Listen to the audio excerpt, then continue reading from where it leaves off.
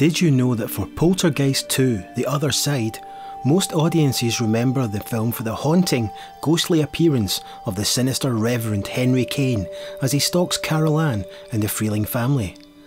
In fact, the actor who portrayed the Reverend Kane, Julian Beck, was in the late stages of terminal stomach cancer during filming, with the illness contributing to the gaunt, almost skeletal look of the iconic horror movie villain in the film.